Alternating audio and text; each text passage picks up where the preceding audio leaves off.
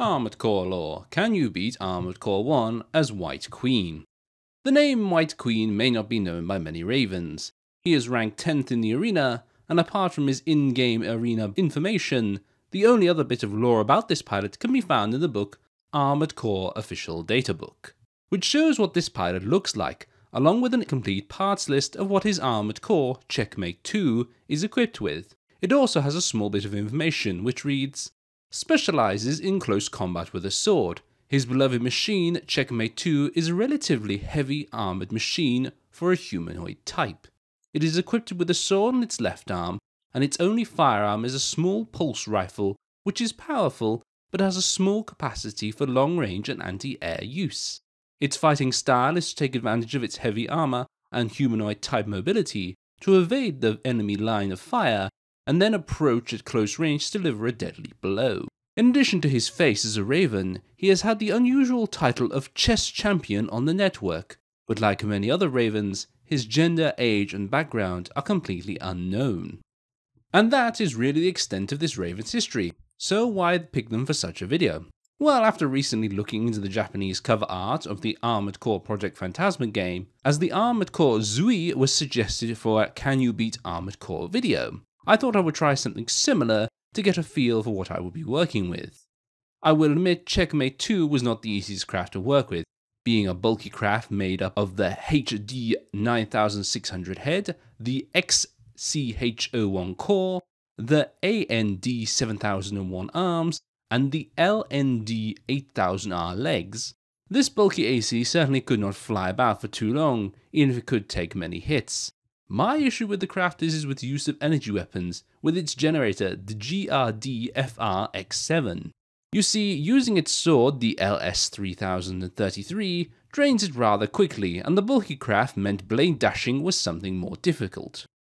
As for its pulse rifle, the WG-XP-1000, while it seems to have a lot of ammo, the truth is you need a lot of these to take out larger foes like armored cores and even some MTs, meaning it drains checkmate's energy fast. Close combat style is really the name of the game here with this craft, and even that came with its challenges. As for most foes don't tend to let you get close, nor keep within the range of the rifle, leading to a chase which drains energy, and so checkmate ends up hiding behind buildings to recharge. Still, before I go on, I will answer here that I did not beat the game with Checkmate 2. In fact, there are two levels that the craft cannot seem to beat, and they are destroy floating mines and guard factory entrance. I will go into detail later on these.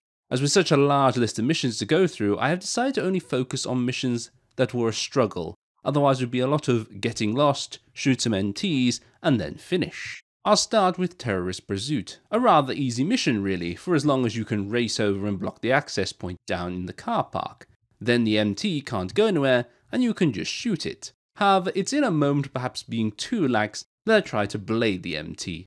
This was a huge mistake, as I had been firing off the pulse rifle wildly to damage the MT, only now it had slipped past me, and the chase was on.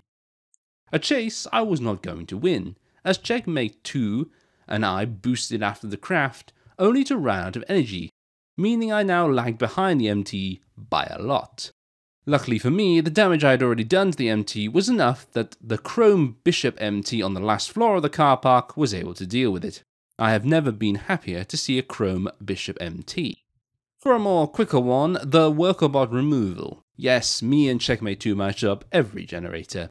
Even if I aimed well, it seems the shots will still hit the generator and boom a lot of lost credits, but we still passed. Guard the freight train was the next hurdle, as with the flying foes I had to take checkmate up onto the mountain to get a good shot, as the range of the rifle is awful. Still the issue was getting shots to hit, then having enough to take out Wildcat. In the end, after six tries, it was done, but this was really due to careful shots. We ended up firing off single shots each time from the pulse rifle to kill the aircrafts with the exact amount they needed, and then concentrated on taking out Wildcat with some blade hits and rapid firing of the rifle until he went down.